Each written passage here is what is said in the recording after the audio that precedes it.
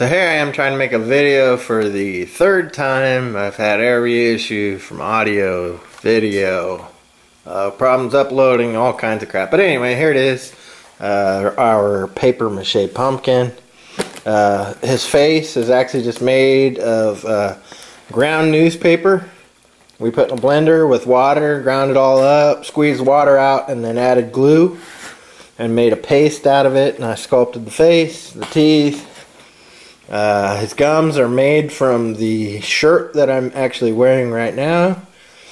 Uh, the whole pumpkin itself was just a uh, um, a trash bag, and we filled it with newspaper, and then with what was left over, we bent it over a few times, folded it, and made the stem. Covered everything.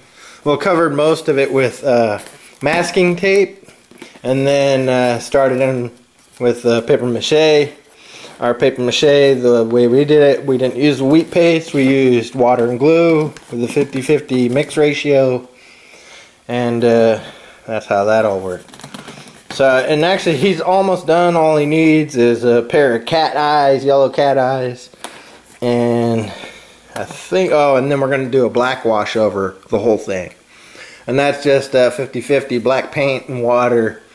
You uh, cover the whole thing in black paint and then wipe it off while it's still wet. So that all the cracks and crevices and stuff actually get filled with the black paint.